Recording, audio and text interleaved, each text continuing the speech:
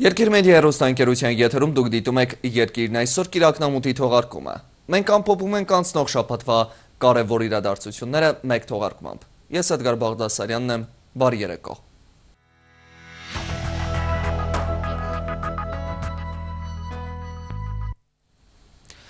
Մինչ շաբաթվա ամփոփման անդրադառնալը նախ թողարկումը սկսենք այսօրվա լուրերով, մասնավորապես պաշտոնական լրահոսով։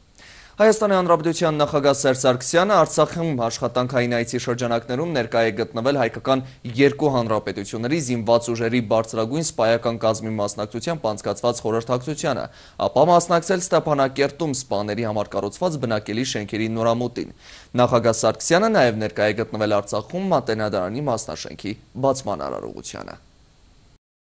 Հայաստանի Հանրապետության նախագահ զինված ուժերի գերագույն գլխավոր հրամանատար Սերժ Սարգսյանը Լեռնային Ղարաբաղի Հանրապետություն աշխատանքային այցի շրջանակում նոյեմբերի 21-ին Արցախի նախագահ Բակո Սահակյանի հետ ներկա է գտնվել հայկական երկու հանրապետությունների զինված ուժերի բարձրագույն սպայական կազմի մասնակցությամբ անցկացված խորհրդակցությանը, որի ընթացքում քննարկվել են երկկողմ փոխգործակցությանն առնչվող մի շարք հարցեր։ Հանրապետության նախագահը մասնակցել է նաև Արցախի մայրաքաղաքում սպաների համար սպայական ավարում կառուցված 176 բնակարանանոց բնակելի շենքերի նորամուտի, Պաշտպանության բանակի շտաբի մարզադահլիճի, ինչպես նաև զորամասերից մեկի զինանձնակազմի համար կառուցված ճաշարանի բացման արարողություններին։ Լեռնային Ղարաբաղի Հանրապետություն կատարած աշխատանքային այցի շրջանակում նախագահի կողմից ապարգևատրվել են բարեխիղճ ծառայությամբ աչքի ընկած մի շարք զինծառայողներ։ Սերժ Սարգսյանը նույն օրը Գանձասարում ներկա է գտնվել Ստեփանակերտի Մեծրոպ Մաշտոցի անվան մատենադարան եւ Գանձասար գիտամշակութային կենտրոնի մատենադարանի մասնաշենքի բացման արարողությանը։ Կենտրոնը կազմված է գիտական եւ թանգարանային մասերից, գիտաժողովների, մշակութային տարաբնույթ միջոցառումների անցկացման համար նախատեսված դահլիճից, գրադարանից եւ ընթերցասրահից։ Նորաբաց ցուցասրահներում ներկայացված են Արցախում վաղ միջնադարից մինչև նոր շրջանը ստեղծված 100-ից ավելի ձեռագրերի,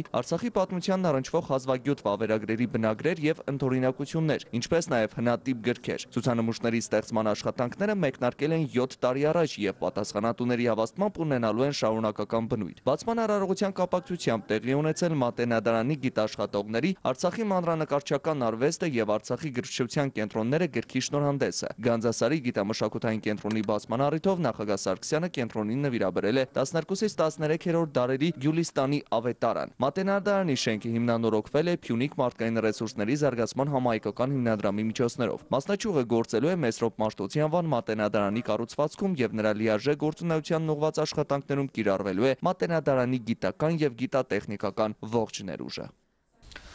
Իսկ ավելի վաղ աշխատանքային այցով Արցախում գտնվող նախագահ Սարգսյանը հետևել է զինծառայողների ներգրավմամբ մարտական հրաձգությամբ անցկացված գնդային մարտավարական զորավարժության ընթացքին։ Զորավարժությունների ավարտից հետո հայկական երկու հանրապետությունների նախագաները եւ պաշտպանության նախարարները ակտիվ մասնակցություն ցուցաբերած զինծառայողներին խորհրդանշական նվերներ են հանձնել։ Արցախից մանրամասները ներկայացնում է մեր գործընկեր Նանե Հայրապետյանը մարտավարական հրաձգությամբ գնդային մարտավարական զորավարժություն, որն անցկացվում է հայկական երկու հանրապետությունների համագործակցությամբ Լեռնային Ղարաբաղի Հանրապետության մեղակապան զորավարժարանում։ Սցենարով խաղարկվում է հարձակման նախապատրաստությունն ու հրաձգային պաշտպանական հենակետերի զբաղեցումը։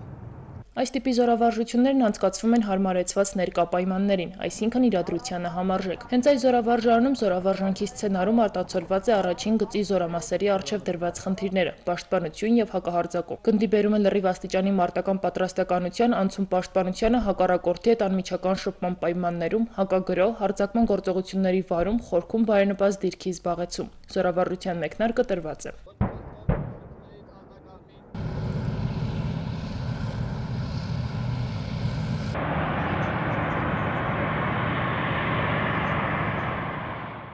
4 փուլից բաղկացած զորավարժության սկզբում ոչնչացվում է հակառակորդի դիվերսիոն հետախուզական խումբը, սակայն հակառակորդը շարունակում է առաջխաղացումը։ Գործի են դրվում հրետանիներն ու գնդացիրները։ Հասցնել գրակային խտությունը առավելագույնի հրամանի կատարումից հետո հակառակորդի առաջխաղացումը դադարում է։ Փոքր ուժերով լուծել մեծ խնդիր։ Այս զորավարժությանը հիմնական շեշտը դրված էր սպառազինությանը, ավելի շատ խնայելով մարդկային ռեսուրս։ Այս տարեսկզբից հայկական զինուժի ворթեգրած հայեցակարգը հրամանադրում առաջադրանքի միջոցով յուրաքանչյուր հրամանատար ընդհանուր մտահաղացմամբ գործի իրադրության Սարգսյանը համարժեք։ Սերյան Օհանյանի համոզմամբ Զինուրն այս առումով իր արժև դրված խնդիրը կատարել է։ Զորավարժությունների նպատակները դա տեսական եւ գործնական գիտելիքների ամրապնդումն է եւ բարձրացումն է եւ նաև հրամանատարների եւ նրանց շտաբների ունակությունների կատարելագործումն է ժամանակակից համազորային մարտը պլանավորելու եւ անցկացնելու ուղղությամբ։ Զորավարժություններին գերազանց արդյունք ցուցաբերած զինծառայողները հայկական երկու պետությունների նախագահների եւ պաշտպանության գերատեսչության ղեկավարների կողմից ապարգևատրվեցին արժեքավոր նվերներով։ Նանի Հայրապետյան, Աշոտ Խաչատրյան, Երկիրն այսօր Լեռնային Ղարաբաղի Հանրապետություն։ Հավելեմ, որ երեք օր շարունակ մեր գործընկերներն Արցախում էին եւ լուսաբանում էին զորավարժությունների ընթացքը։ Հենց այդ մասին պատմող ամբողջական ռեպորտաժը մեր եթերում կլինի վաղը իմ գործընկեր Գեգամ Մանուկյանի երկրի շաբաթը հաղորդաշարի շրջանակներում ժամը 22:30-ին։ Միջազգային լրահոսից Մալիի մայրաքաղաքի Redison Blue հյուրանոցի վրա նախորդին տեղի ունեցած հարձակման հետևանքով 19 մարդ մահացել է կայ 7 վիրավոր։ Լուրը հաղորդում է Reuters գործակալությունը վկայակոչելով Մալիի նախագահին։ Հիշեցնեմ, որ ձինյալները հյուրանոցում պատանդարել էին 170 մարդու 140 այցելուների, որոնց մեծ մասն արտերկրացիներ էին եւ հյուրանոցի անձնակազմի 30 աշխատակիցների։ Մալիի հատուկ ուժերին հաջողվել էր մտնել հյուրանոց եւ ազատ արձակել պատանդներին։ Երկու զինյալ սպանվել է։ Հարցակման պատասխանատվությունը ստանձնել է իսլամիստական ծայրահեղական Ալ-Քաիդա խմբավորման հետ կապ ունեցող Ալ-Մուրաբիտուն խմբավորումը։ Ավելի վաղ հաղորդվում էր, որ զինյալները մտել էին հյուրանոց, սկսել կրակել եւ գոռալ Ալլահու Ակբար, որը թարգմանաբար նշանակում է Աստված մեծ է։ Ապա ազատ արձակել նրանց, ովքեր կարողացել էին Ղուրանից տողեր մեջ բերել։ Մալի իշխանությունները երկրում 10 օրյա արտակարգ դրություն եւ երրորդյա սուկ են հայտարարել։ Իդեպ Ռուսաստանի արտաքին գործերի նախարարությունը հաստատել է, որ զոհերի թվում կան նաեւ այդ երկրի քաղաքացիներ։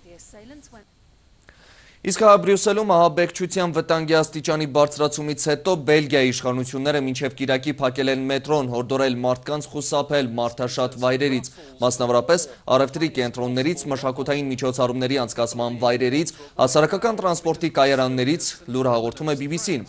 Բելգիայում հայտարարված է ահաբեկչության վտանգի ամենաբարձր 4-րդ աստիճանը։ Նշեմ, որ Փարիզի ահաբեկչության իրականացման մեջ կասկածվող 26-ամյա Սալլահ Աբդեսլամը ենթադրվում է, որ հարձակումներից հետո ուղևորվել է Բելգիա։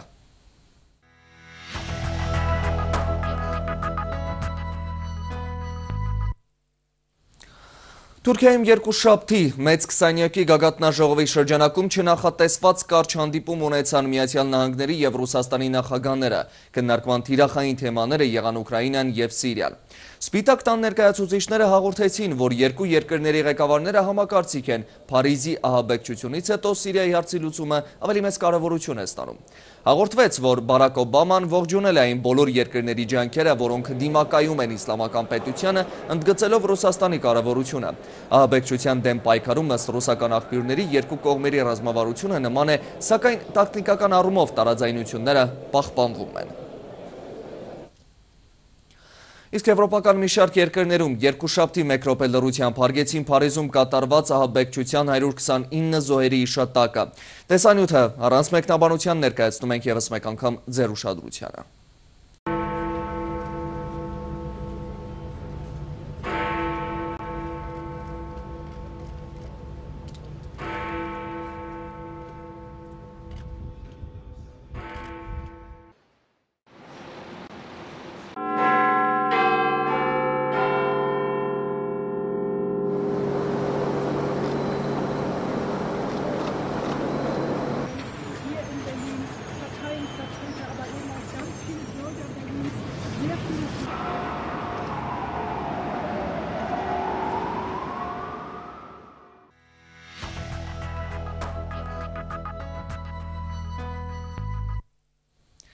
Եգիպտոսի Սինայի թերակղզում ռուսական A321 ինքնաթերը կործանվել է ահաբեկչության հետևանքով։ Ռուսաստանի անվտանգության դաշնային ծառայության ղեկավար Ալեքսանդր Բորտնիկովը Կրեմլում նախագահ Վլադիմիր Պուտինի հրավիրած խորհրդակցության ժամանակ հաստատեց։ Ինքնաթիռում գործի է դրվել ինքնաշեմ պայթուցիկ սարք։ Դրա հետևանքով ինքնաթիռը սկսել է մասնատվել օդում, ինչը բացատրում է օդանավի բեկորների մեծ տարածության վրա ցրված լինելու փաստը։ Հիշեցնեմ, հոկտեմբերի 31-ին Շարմ էլ Շեխից Սանկտ Պետերբուրգ թռչող օդանավի կործանման պատճառով զոհվեց 224 մարդ։ Պուտինը շեշտեց, որ իրենք կգտնեն ու կպատժեն ահաբեկչությունը կազմակերպողներին աշխարհի որ ծայրում էլ նրանք լինեն։ Ռուսաստանի նախագահը նաև ընդգծեց, Սիրիայում ռուսական օդուժի գործողությունները պետք է ուժեղացվեն, որպեսզի հանցագործները հասկանան հատուցումը անխուսափելի է։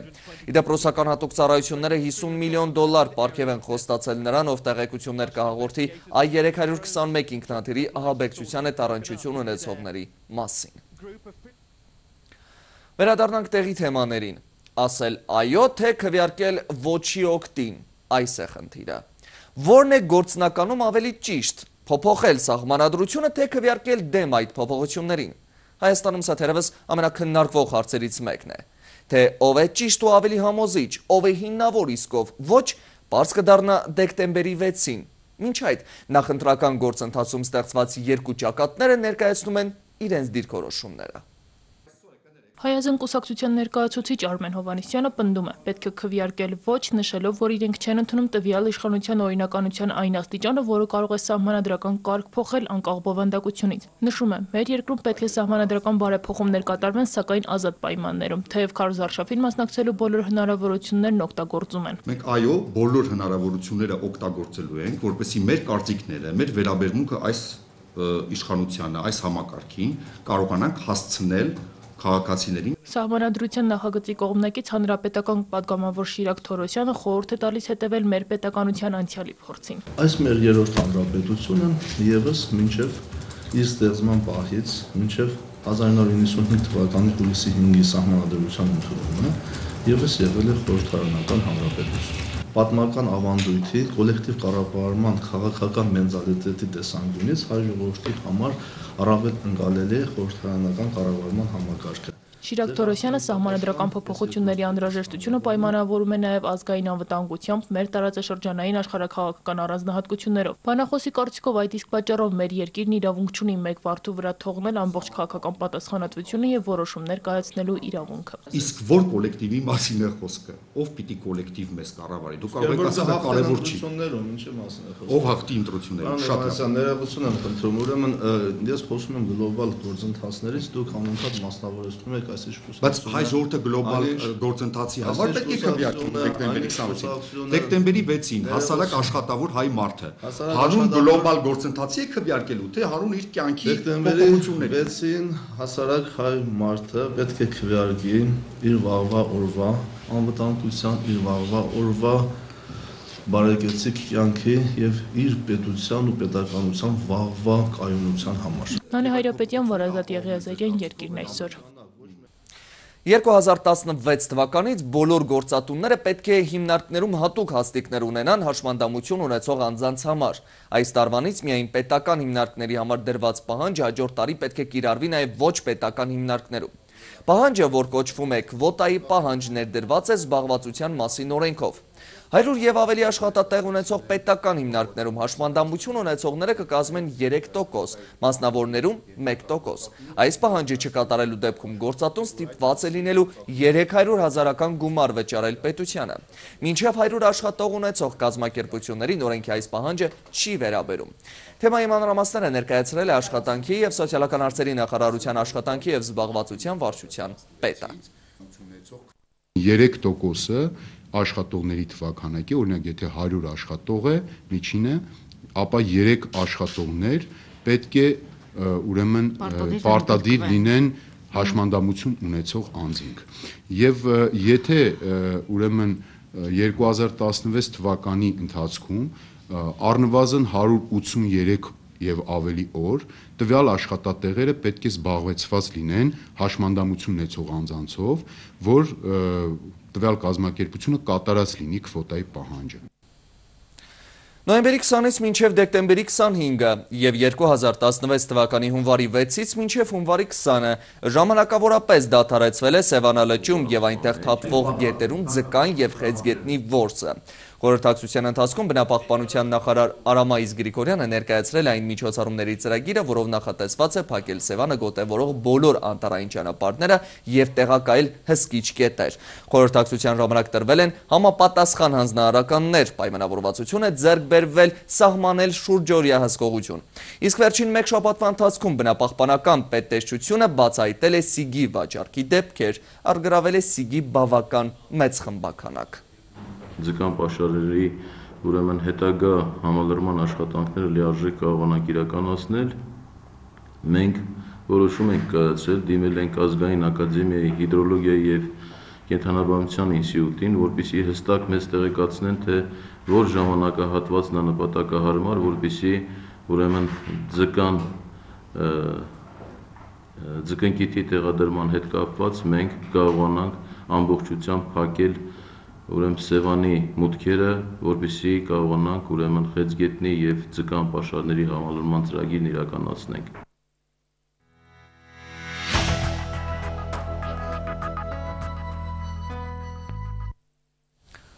Մենք աշխատում ենք, որպեսի պատերազմ չվերսկսվի, մեր ջանքերն ուղված են դրանից խուսափելուն։ Երևանում լրագրողների հետ հանդիպմանը նման կարծիք հայտնել Միացյալ Նահանգների փոխպետք արտուղարի Եվրոպայի եւ Եվրասիայի հարցերով տեղակալ Բրիջիտ Բրինքը, անդրադառնալով հայ-ադրբեջանական սահմանին շարունակվող լարվածությանը։ Նրա խոսքով իրենք աջակցում էին ԵԱԿ Միսկի խմբի համանախագահների ջանքերին, որոնք ուղված են սահմանային լարվածությունը թուլացնելուն եւ վանակցային գործընթացին աջակցելուն։ Պատասխանելով լրագրողներից մեկի դիտարկմանը, թե Ռուսաստանի արտգործնախարար Սերգեյ Լավրովի Հայաստան կատարած այցից հետո խոսակցություններ կան Լեռնային Ղարաբաղի որոշ տարածքներ հանձնելու շուրջ, Բրիջիտ Բրինքն ընդգծել է, որ հստակ գործընթաց կա երկու երկրների իշխանությունների եւ Միսկի խմբի միջև, եւ իրենք պաշտպանում են այդ գործընթացը։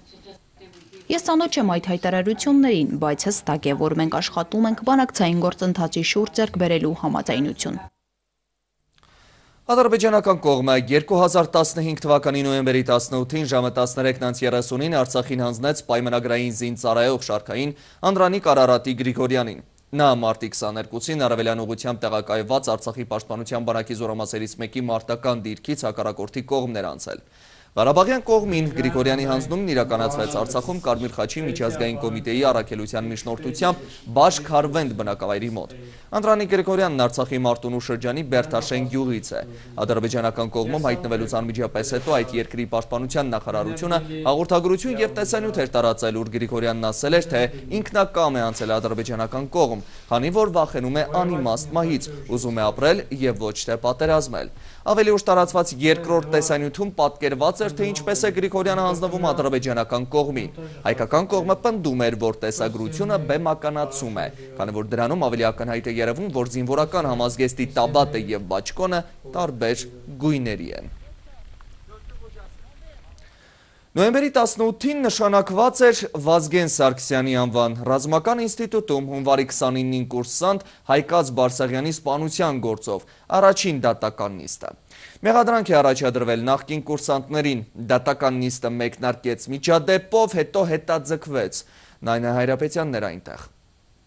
Այս տարի հունվարի 29-ին Վազգեն Սարգսյանի անվան ռազմական ինստիտուտում դաժանաբար սպանված կուրսանտ Հայկազ Բարսեղյանի գործով առաջին դատական նիստն Ավան եւ Նոր-Նոր վարչական շրջանի ընդհանուր իրավասության դատարանում սկսվեց միջադեպով։ Մեղադրյալներին նիստերի դահլիճ մտնելն իրարանցում առաջացրեց։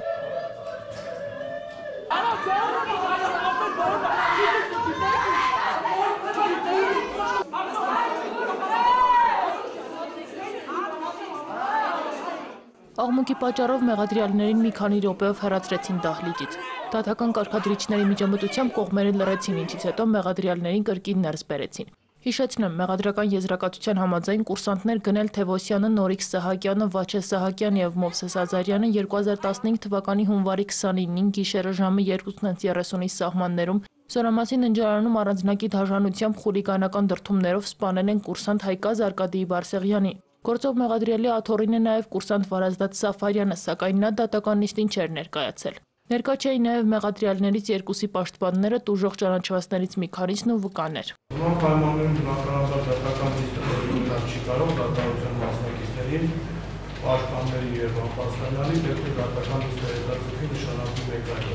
Դատական հաջորդ նիստը նշանակվել է դեկտեմբերի 1-ին։ Սպանված կուրսանտի հայրը նախաքննության արդյունքից դժգոհություններ չունի, իսկ որպես դատավճիռ պահանջում է։ Ցմա, ցմա միայն դա է, թե ճիշտ է։ Ես ափսոս եմ, ափսոսանք եմ հայտնում, որ մեր պետությունը այդ գնդակահարությունը վերացրեց։ Մեր մենք այն պետությունը չէինք հələ, որ մենք այդ գնդակահարությունը վերացնեինք։ Այդքան տականքների մենք պահում ենք ինչի համար։ Որդու սպանության դրդապատճառն ըստ Արկադի Բարսեղյանի ճաշարանում Կարեն Աբրահամյանի սպանվածի առասնկատողությունն է, որը դուրս չի եկել հարցեր պարզաբանելու բացառիկ իրավունք ունեցողի համբավ վայելող կուրսանտներին, որոնք այժմ մեղադրյալի աթոռին են։ Նրանք էլ որոշել են ըստ Արկադի Բարսեղյանի հաշիվ մաքրել իր որդու հետ եւ ննջարանում ծեծելով սպանել են նրան, ապա հետքերը կոծկելու համար կախել են հայկազին։ Հաջորդ օրը հունվարի 29-ի առավոտյան Հայկազ Բարսեղյանին գտել են պտտաձողի վրա կախված։ Սպանվածի հոր պնդման որդին ինքնասպան չի եղել, իսկ թողած երկտողը կեղծ է։ Իդեպ մեղադրյալ Գնել Թևոսյանի հայրը նույն զորամասում գնդապետի պաշտոն էր զբաղեցնում։ Նրան մեղադրում են պաշտոնի չարաշահման ու գումար յուրացնելու մեջ։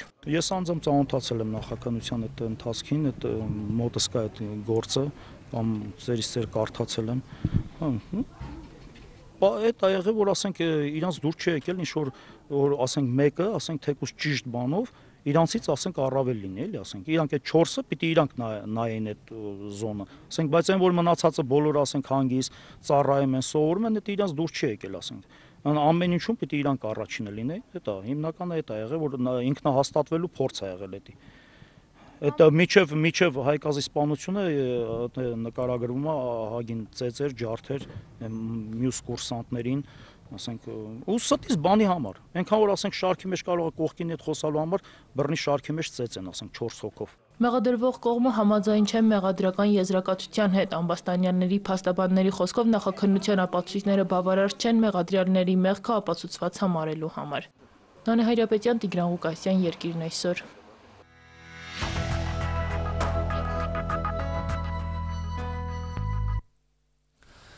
Հայաստանի Եվրամիության այդ նոր շրջանակային պայմանագրի շուրջ բանակցությունները ամենայն հավանականությամբ կմեկնարկեն տարեվերջին Բրյուսելում։ Մեր երկրում Եվրամիության պատվիրակության ղեկավար դեսպան Պյոտր Սվիտալսկիի խոսքով Հայաստանի ղեկավարությունը կնքվելիք պայմանագրի շրջանակում կպահպանի մարդու իրավունքներին, ժողովրդավարությանը, արդարադատությանը վերաբերող հարցերին այնպես, ինչպես դրանք ամրագրված էին Եվրամիության ասոցիացման համաձայնագրում։ Լրագրողների հետ դեսպան Սվիտալսկիի հանդիպման մանրամասները ներկայացնում է Մարինե Մելիքսեթյանը։ Փարիզում նոյեմբերի 13-ին տեղի ունեցած ահաբեկչությունը բացասաբար չի անդրադառնա Եվրամիության եւ Հայաստանի վիզային ռեժիմի դյուրացման գործընթացի վրա։ Հայտարարում է Հայաստանում Եվրամիության պատվիրակության ղեկավար դեսպան Պյոտր Սվիտալսկին։ Միաժամանակ նշելով, որ Եվրոպա ճամփորդող հայերը Շենգենյան գոտու տարածքում կարող են հանդիպել անվտանգության խստացված միջոցառումների։ Դեսպանն անդրադառնալով Եվրասիական տնտեսական միությանը Հայաստանի անդամակցությանը ընդգծեց. դա ոչ մի կերպ չի ազդում Եվրամիության ապագայում միասնական տնտեսական գոտի ստեղծելու աշխատանքների ոլորտների վրա։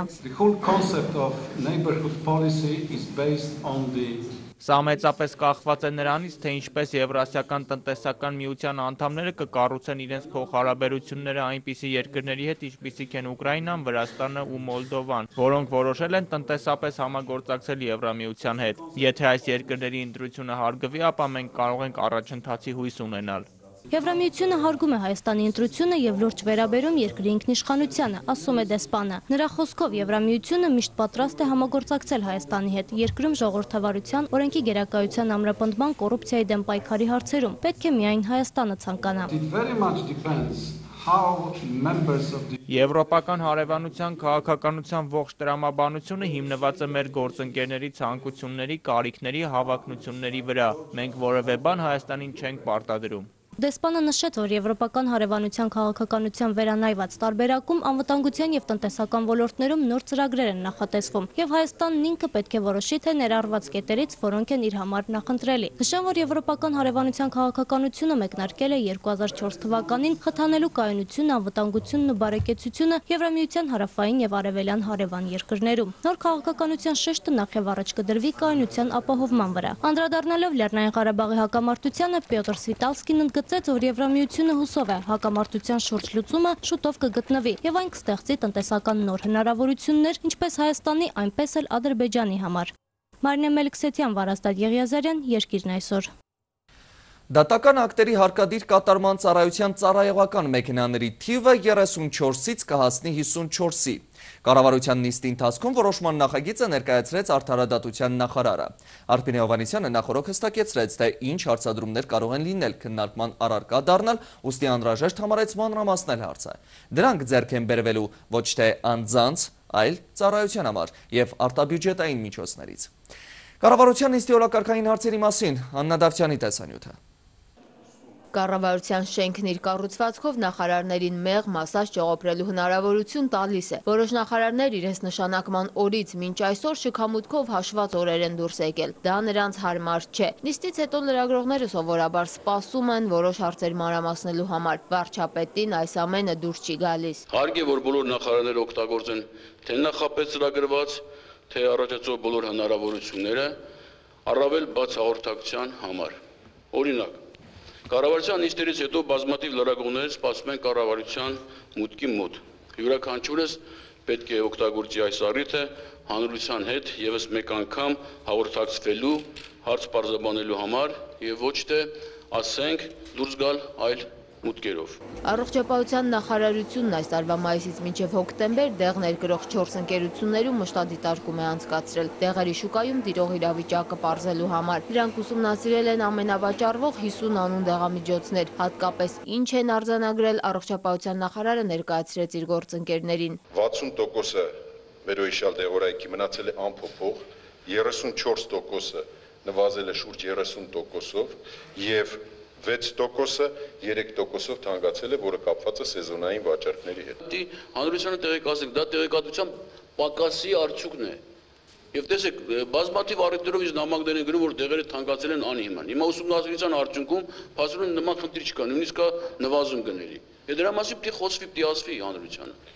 Այս ամսվա ուժեղ քամիների հետևանքով մի շարք համայնքներում լուրջ վնասներ են եղել։ Վարչապետը դրանց մի մասն իր աչքով է տեսել ու առաջարկեց արագ որոշում կայացնել վնասը փոխհատուցելու համար։ Մարզպետարանների հաշվարկած վնասի չափը գումարային տեսքով Հովիկ Աբրահամյանն աչքի անցկացրեց, սակայն չհավատաց։ Ես տեսնում եմ, որ թվերը նաև իմ մտահոգությունը, որ իրականությունը չեն համապատասխանում եւ օգտվելով այդ առիթից, որ կառավարությունը մենք նախագահի հետ իհարկե քննարկել ենք այս հարցը եւ որոշում ենք կայացրել, որ աջակցենք բայց նաև լինի դա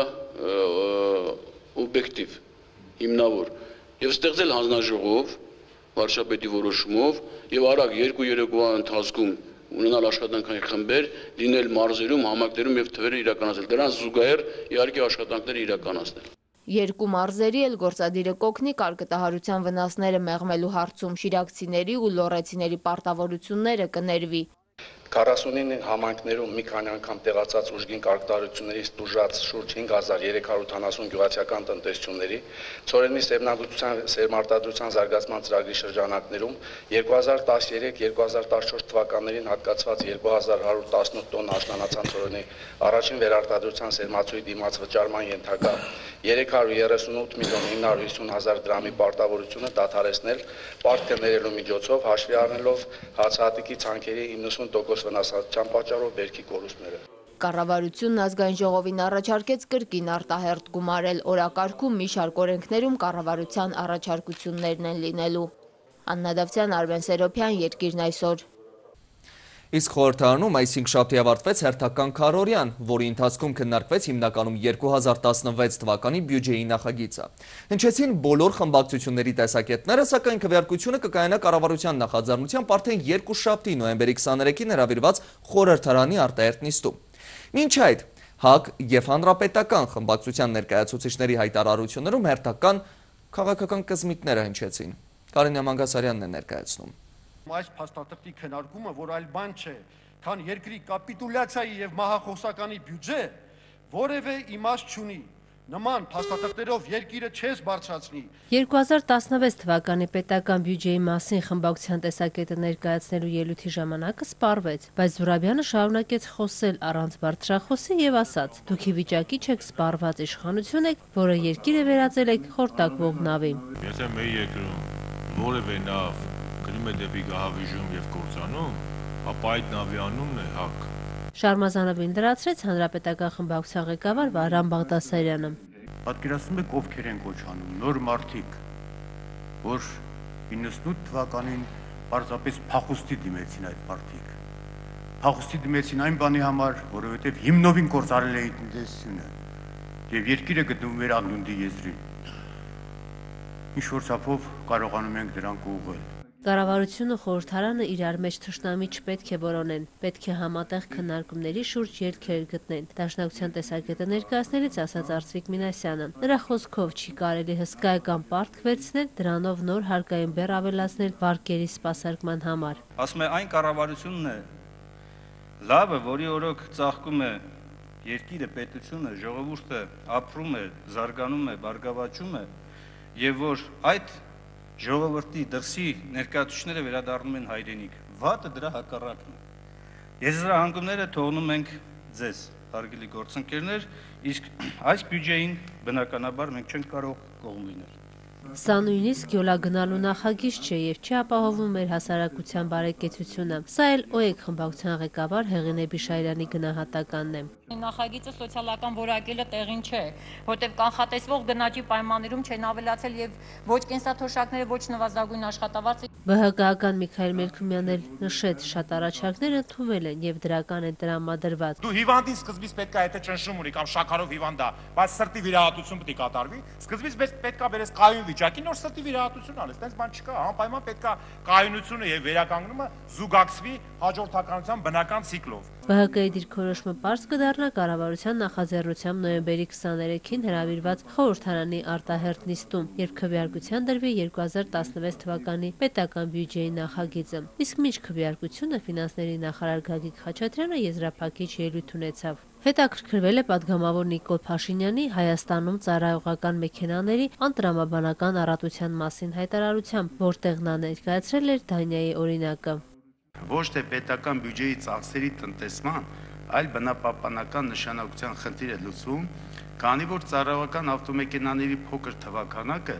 դեռևս չի նշանակում ծախսերի տնտեսում։ Նախարարը նաև ողջել է, որ ծառայողական մեքենաների միջոցով պետական ծառայողների համար որոշակի սոցիալական խնդիրներ են լուծում, քանի որ աշխատավարձով հնարավոր չէ լուծել այդ խնդիրները մեր երկրում։ Դանիայում նվազագույն աշխատավարձը 1 ժամվա համար համարժեք է 20 դոլարի, այն դեպքում, երբ մեր երկրում այն կազմում է ընդամենը 330 դրամ։ Խաչատրյանի ելույթում նաև շնորհակալություն հայտնեց կառուցողական ելույթների համար, բայց նշեց, որ ելույթներ էլ կային, որ ամենևին կապ չունեին խորհրդարան ներկայացված 2016 թվականի բյուջեի նախագծի հետ։ Կարնե Մանգասարյան, Աշոտ Գաբրելյան, Երկիրն այսօր։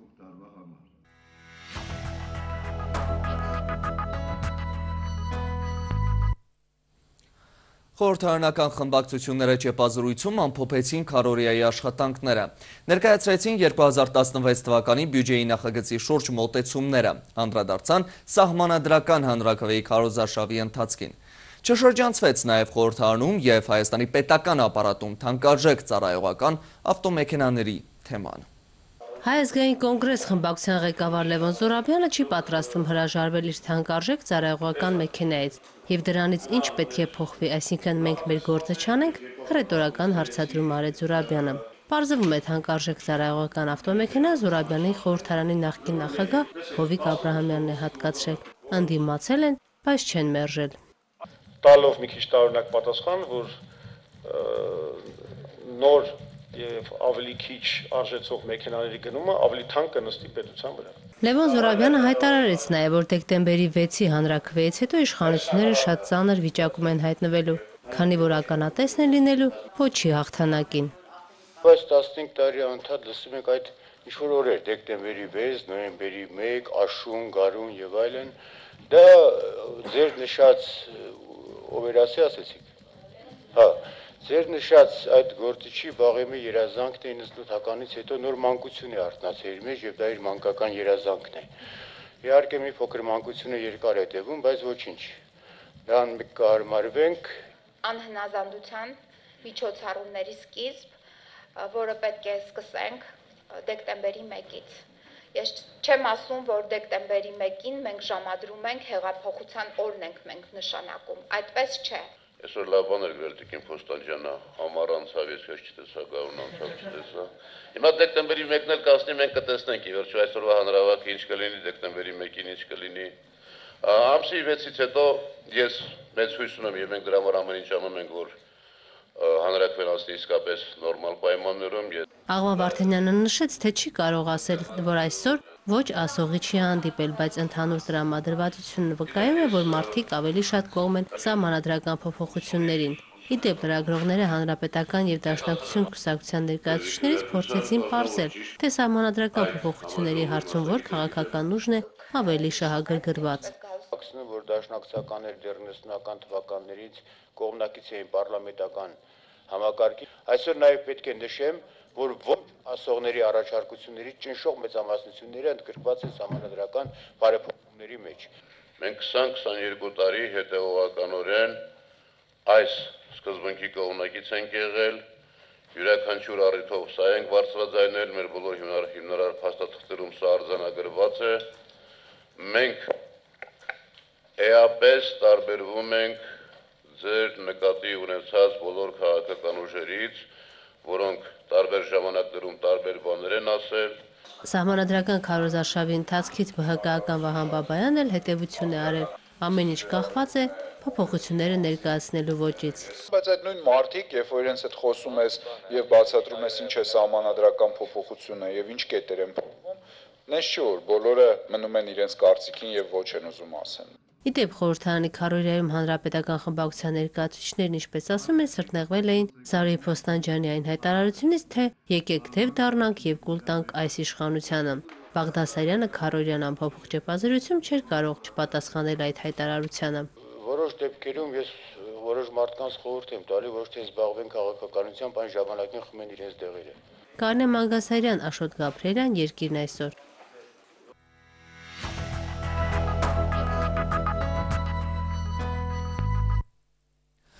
Ավելի քան 3 տարի առաջ բեմ բարձրացավ հայերի վրեժի ծրագրի մասին պատմող օպերացիա Նեմեսիս ներկայացումը։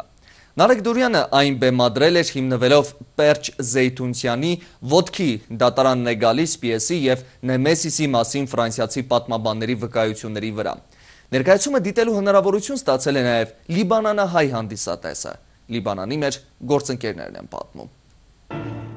Հոյիթը 125-ամյա գիսեմին եւ հայոց ցեղասպանության 100-ամյակի արիթով Լիբանանի Հոյիթա Քրիստապոր Գոմիդեն ողջունելի նախաձեռնությամբ մը Հայաստանեն հրավիրեց հայրենի վաստակաշատ արվեստագետ Նարեկ Դուրյանի Նեմեսիս գործողության նվիրված թադերախաղը, որ հիմնվելով Բերտ Զեյթունցյանի ոտքի թադարանն է քալիս գործին, ինչպես նաեւ ֆրանսացի բադմապաններ Ժերար Շալյանի, Իվ Թերնոնի եւ Ժակ Թերոժի աշխատասիրություններուն վրա կբատմե հայ վրիժարու հերոսներու գողմե իրակորձված թուրք թահիջներու մահավջիրներու կործաթման եւ մասնավորապես Սողոմոն Տեհլիրյանի իրակորձած Թալիաթի ահապեկչության եւ անորթ ադավարության մասին։ Ես հրաշալի խմբով եկած եմ, հրաշալի։ Զինվորներ են պարզապես իմ հետ եկած տղաք։ Ես զգում եմ, որ մենք ոչ թե եկել ենք քյուրախաղերի, այլ մենք եկել ենք ինչ որ մի կատարելու ինչ որ մի պարտք չգիտեմ, եւ դա դա ինձ շատ է ողջորում։ Այսքանը ես ուրիշ բան չունեմ ասելու եւ հուսով եմ որ այսպիսի նյութեր շատ կբեմադրվեն Հայաստանում, Սփյուռքում եւ այս ամենը շատ պետք է որպես մեր երիտասարդը այս ամեն ինչը հիշի եւ հիշեցնի փոխանցի պայքարի։ Հայրենի դաղանթավոր թերասաններու մասնակցությամբ Դուրյան Փեմին վրա կգադարե թերապաշխում եւ վաստակավոր թերասան Կակի Կրոստոմյանի գվստահի բատմապանի թերը, որ վավերագրական եւ բատմական արխիվները եւ վկայությունները մեջբերումներ գադարելով ընթացք ուդա ներկայացման, որ մերթ ընդմերթ կընթադվի Դուրյան Փեմատրիչի լուսապանություններով եւ փեմատրական միջամդություններով։ Յուրաքանչյուր թերասան կմարմնավոր է քանի մգերբար։ Թերասանուհի Քրիստին Հովանեսյան կներկայանա 5 տարբեր թերերով։ 5 կտորի մեջ 5 դերերի մեջ ունեմ սիրած դեր նաև, շատ եմ սիրում Թերզիբաշյան Քրիստինե Թերզիբաշյանի կերպար այդ հայ վկայի, որ վկայություն է տալիս դատավարության ժամանակ։ Սիրում եմ շատ Թելերյանի մոր կտորը, որ որպես տեսիլք հայտնվում է, եւ սիրում եմ Թալատ Փաշայի կնոջ կերպարը։ Փեմին վրա միշտ հետաքրքրական պատկերներ ստեղծող մնչախաղի երդասարդ 6 տերասանները հանդիսադեսը կդեղափոխեն ժամանակի մեջ եւ կփոխադրեն երկրե երգիր, ուր գլխավոր թերերով ներկայացող Աբու Խալաթյանն ու Սարգիս Գրիգորյանը իրենց դպավորիչ դիրական թերասանական վարպետությամբ կգլանեն հանդիսադեսը, որ քարլերությամբ կհետևի շուրջ 2 ժամ տևող ներկայացման, որ ըստ թերասաններուն, որպես ցեղասպանութենը ժողովրդած ժողովրդի զավակներ, քաչադեղյակ է հայ ժողովրդի պատմության այս փարահեղ իրակորձման մասին։ Բավականին պարտավորեցնող էր, որովհետև Լիբանանի հանդիսատեսը տեղեկացված է այս գործից ու հայրենասիրությունը իրենց մեջ բարձր մակարդակի վրա է քար լրություն էր, որը մեզ վախեցնում էր, միևնույն ժամանակ պարտավորեցնում նույնիսկ ամբողջ ընթացքում մենք տեսնում ենք, որ մեր խոսքի հետ, մեր գործողությունների հետ Լիբանանի հանդիսատեսը գլխով անում, այսինքն հաստատում է այդ փաստերը, որ եղել է, որովհետև գրեթե յուրաքանչյուրի միջով դա անցել է։ Այս պատմությունը նրանց ցավն է, նրանց վիշն է։ Մենք այլևս չենք ուզում տեսնել հայերին Անատոլիա ապրել անապատում, միայն անապատում։ Նույն տպավորություն լրությունը ինչ որ մեզ համար արդեն հոգեհարազատ էր. հանդիսատեսի քար լրությունը եւ վերջում բուրըն ծափահարությունները, որը հաստատում էր այն մասին, որ իսկապես գործը հաջողված էր իսկապես ընդունվեց սիրով։ Սողոմոն, կհանձնվեք ու դրած որդիս։ Ոչ տեր հանությունի աղջիկ, մենակ գնա, չավացան պես ինձ կանչեր մամ։ Այդպես որդիս։ Դեր էստեղ անելի կում է մամ։ Ինձ կար Սողոմոն։ Դու աղոթիր ինձ համար մամ։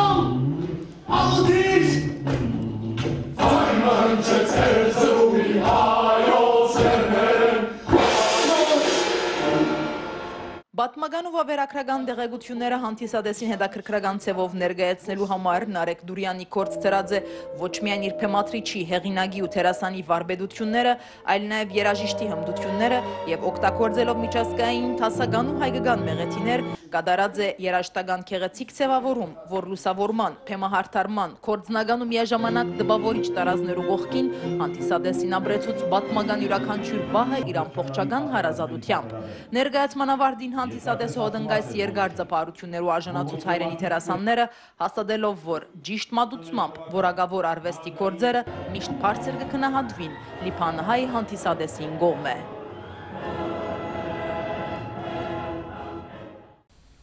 Իվասել MTS-ի և վայրի բնության մշակութային արժեքների պահպանման հիմնադրամի այլ ընտրանքային էներգիա հերթական ծրագիրն այս անգամ սահմանամերձ խնձորուտ գյուղում իրականացվեց։ Համայնքում ստեղծվել է 60 կետից բաղկացած արտաքին լուսավորության լուսադիոտային համակարգ։ Համակարգը լուսավորում է 1800 մետր տարածություն գյուղի կենտրոնական փողոցի մեծ մասն ու եւս երկու կարևոր նշանակություն ունեցող փողոցներ։ Սահմանամերձ խնձորուտում արտաքին լուսավորության համակարգը չի գործել ԽՍՀՄ փլուզումից ի վեր, այլ ընտրանքային էներգիայի ծրագրի շնորհիվ արդեն լուսավորված է գյուղի ավելի քան 80%-ը։ Ծրագրի նպատակն այլ ընտրանքային էներգիայի աղբյուրների արեգակնային ջեռուցման եւ փողոցների լուսավորության LED համակարգի կիրառմամբ շրջակա միջավայրի աղտոտումը կանխարգելելն է